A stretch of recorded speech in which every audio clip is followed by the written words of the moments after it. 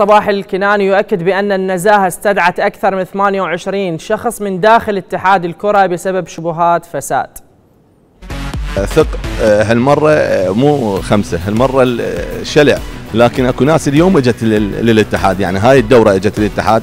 خو هاي بعد الناس ما مقدمة شيء ولا شايفين من عندهم شيء. إحنا نقول السابقين اللي ما قدموا وما خدموا كرة القدم العراقية يتغيرون ولازم يتغيرون. أكو فساد باتحاد كرة القدم؟ أكيد 100% هاي الملف.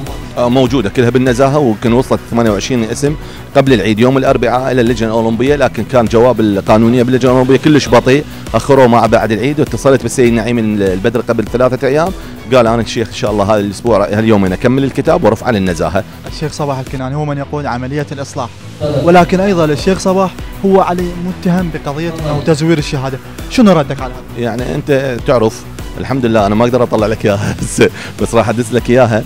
آه، كتاب اتحاد الملاكمة العراقي السيد علي تكليف والهيئة الإدارية أثبتوا بالدليل وبكتاب رسمي ومصدق ومختوم من الاتحاد بأن المعلومات المقدمة مو صباح الكنانة هاي اللي مقدمها ولا أصلا صباح الكنانة كان موجود بالعراق.